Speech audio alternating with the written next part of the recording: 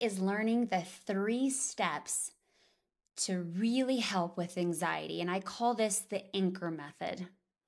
So get ready because you're definitely going to need a paper and a pen for this one so that you can leave with some takeaways and some information that can help make an impact on this thing called anxiety or stress.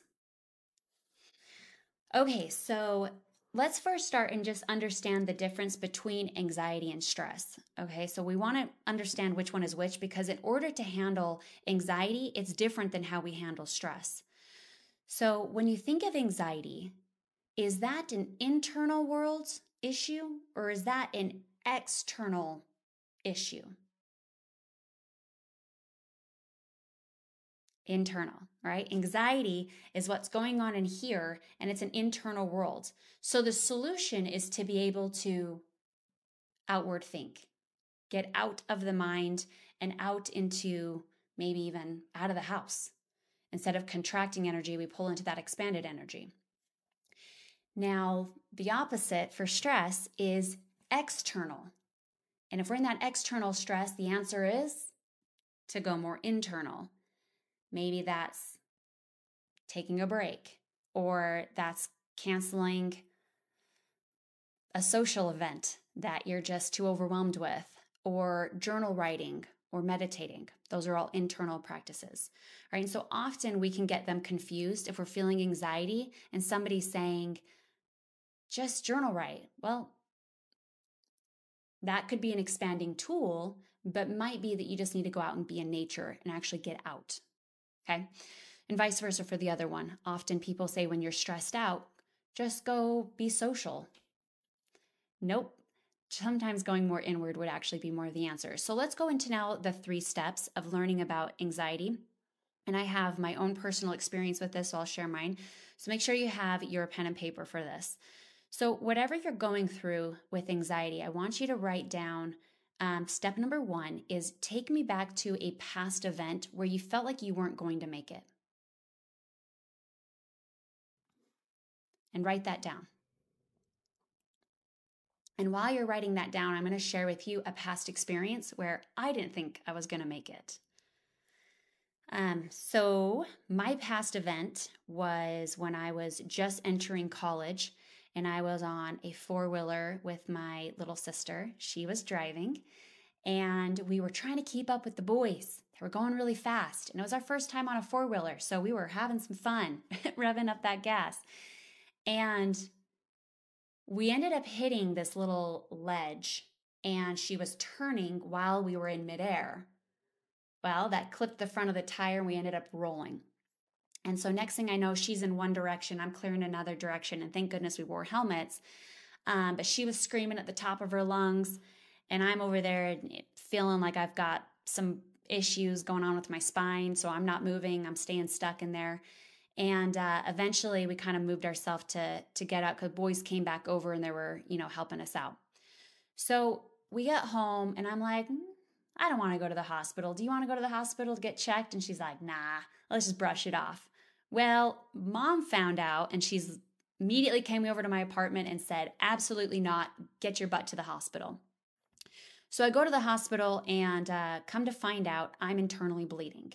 I've got a, a spleen that has been lacerated from the uh, handlebars of the uh, of the four wheeling accident. Now I wasn't externally bleeding, but it was um, it was enough of a, an abruption, a hit, or what have you, um, that created an internal laceration. So I ended up having to be on bed rest for a week straight. Couldn't even use the bathroom on my own, couldn't even shower on my own. They wanted me completely horizontal.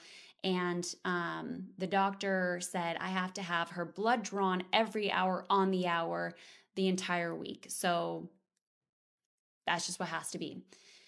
So that was when you're in the doctor's office, you kind of feel a little out of control, right? Like whatever they say, if you're bleeding internally, you feel a little helpless. So whatever they say, you're going to do. So next thing you know, every hour on the hour, I have a nurse coming in, poking me, putting another stick in my arm to check my blood. Now, after the third day of every hour on the hour, And many nurses are starting to miss the vein. So I've had this entirely bruised, like blue arm. And I just had this massive anxiety every time that they were going to come back in the room. I would start to count down the seconds of when the next one was going to come in. And the anxiety that was building up and building up of thinking I'm going to get poked again with another needle. It, started to really, and I never even had sensitivity at all to needles or fear of them at all prior to this event. But it wasn't until this event that I got extremely anxious. And so that was my past event. Okay. So hopefully you came up with yours. We're going to go to step number two now. Step number two is how did your mind over exaggerate the scenario? Okay. So for me, in a for my story, and I want you to write yours, but I'll share mine, is my over exaggeration. Well, one is I'm internally bleeding, and then also they poked me in the arm. So I was just thinking I was massively losing blood on a very quick level. I had no, you can't visually see internal bleeding. So my mind went to another level of fear. And I felt completely out of control, like no control at all when I'm in the helplessness or, um, you know, priority of whatever they say must go. And so the anxiety that kept building up, um, I could feel my my blood pressure and um, the nervousness starting to kick in. So my over exaggeration was basically, I'm going to die in this hospital. I t- I don't know if I'm going to make it because in one way or shape or form, I'm going to basically internally bleed out. Okay. So then step number three is, did it come true? So that's what I want you to write down. Yes or no? Did your over exaggeration come true? What did your mind do to take you to another scenario that you thought was going to happen? And then after that, I want you to ask now, what is your superpower? Now that that event has happened, will you ever let that happen again? So, what's your superpower? So, here was my superpower was I sat up when the next nurse came in and I said, I need to speak to the doctor. She said, no problem. The doctor came in and I said, three days, look at my arm. Can I refuse this? And he goes, Well, yeah, I just had some new nurses that needed a practice, but yeah, we can definitely just put an IV in. Wow. So when I was just recently then that was years and years ago. So just recently i needed to go get some blood work done and i started to have the same anxiety panic attack start to hit me.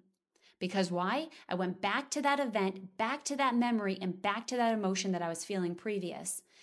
And so my fiance helped me and he said what's your superpower now? Will you let that past event happen and I stood up and I was like, absolutely not. I'm never going to let that happen again.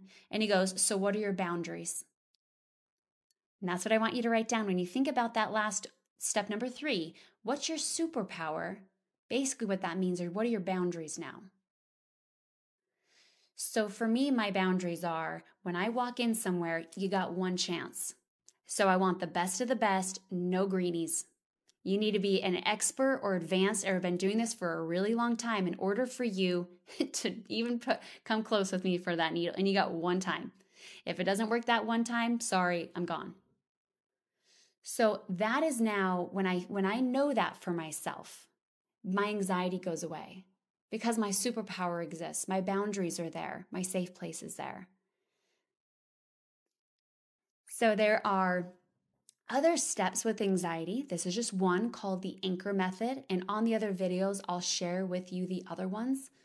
But what a great way to go back to our past, recognize step number two of how our mind takes us to another level. And remember, our thoughts are always influencing our emotions.